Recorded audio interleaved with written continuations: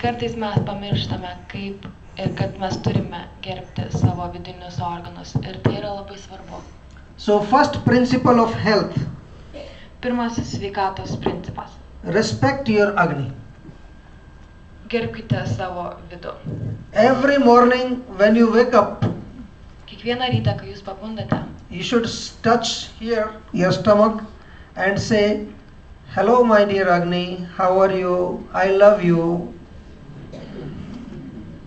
Kiekvieną rytą, kai jūs atsibundate, turite paliesti iš tai, kur yra jūsų skrandis, pilvas ir pasakyti ačiū, labas, brangioji. Okay? Can you do this?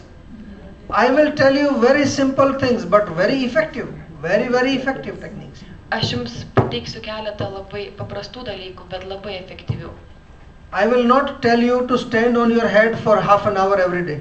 Aš jums neliepsiu stovėti ant galvos kiekvieną pusvalandį, kiekvieną dieną. Don't worry. I will tell you very simple thing. Aš jums pateiksiu labai paprastų dalykų. So every morning, hello Agni, hi, how are you? Labas rytas. I love you. Please be happy. Say this with love, lot of love. You should say this with lot of love. Then Agni will become very happy.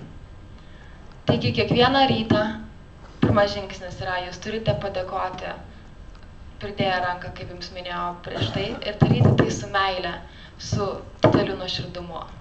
Like sometimes we have a cat or a dog in the house and we touch the cat and say hello, how are you? So they are very happy, you can see. Similarly, Agni will become very happy and she will do more work for you.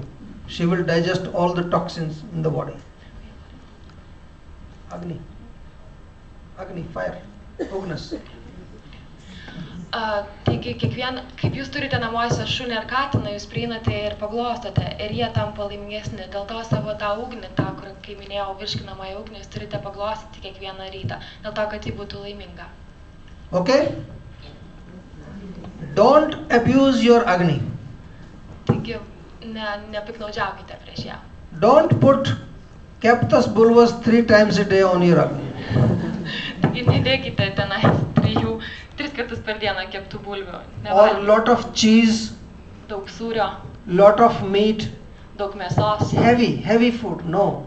Sunkaus maisto negalima. Especially after 40 years of age, when you are 40 or above, your Agni automatically becomes weak because the body is now not young. You are not 17 or 16 now.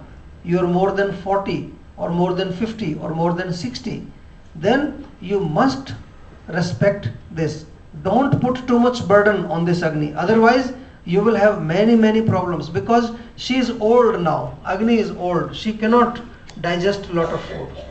Taigi jūs turite gerbti tą ugnį esančią jumise ir jeigu jums virš 40, ji pradeda lėtėti ir jeigu jums dar daugiau nei virš 40, virš 50 ir 60, jinai lėtėja ir jos darbas labai sutrinka, dėl to jūs turite tai gerbti ir nedėti maisto, kuris sukelia dar didesnį ugnį ir degimą viduje. Okay?